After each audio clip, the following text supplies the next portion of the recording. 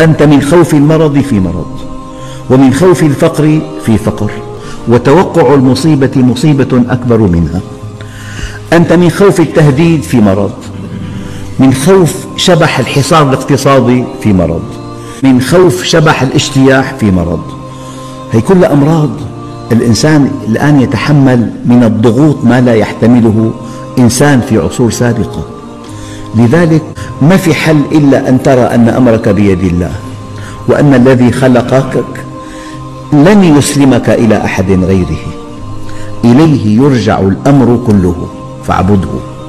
ما لم توقن أن أمرك وسلامتك وأهلك وأولادك ورزقك وصحتك بيد الله.